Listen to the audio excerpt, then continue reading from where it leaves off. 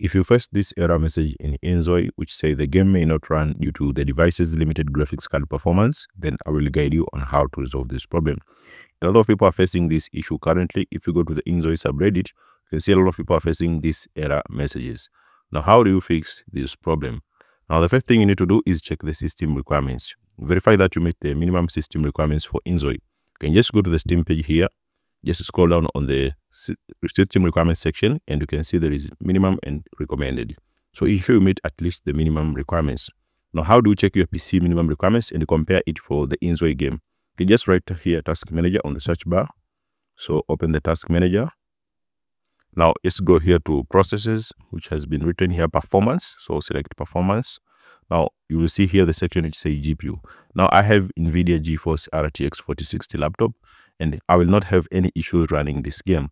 If you have maybe the recommended specs but are still facing again the, the same issue, now let's go to the second step, which is the update your graphics drivers.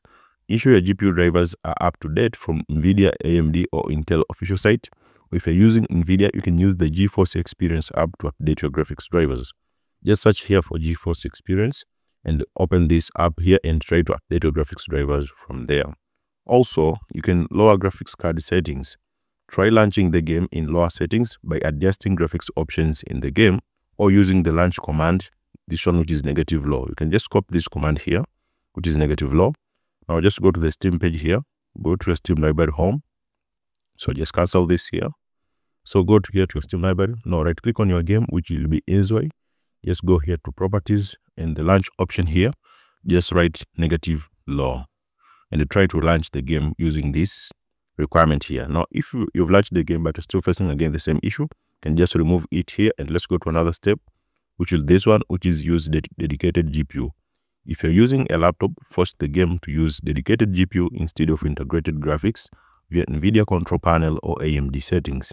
Now to use dedicated GPU, if you're using NVIDIA, just follow the instructions here. Now that is for NVIDIA and for AMD. Now to, for NVIDIA, just right click on the desktop and select NVIDIA control panel. Okay, just search it from here. Just write NVIDIA control panel. Now after opening the NVIDIA control panel, go to manage 3D settings and select program settings tab. Then click add, then find the select Inzoi. If it's not listed, click browse and locate the game's exe file. And select the preferred graphics processor, choose high performance NVIDIA processor click apply and restart the game. Now for AMD, just open AMD Radeon software, go to graphics settings, find Inzoi in the list for, or add it manually. Set it to high performance mode, apply changes and restart your game.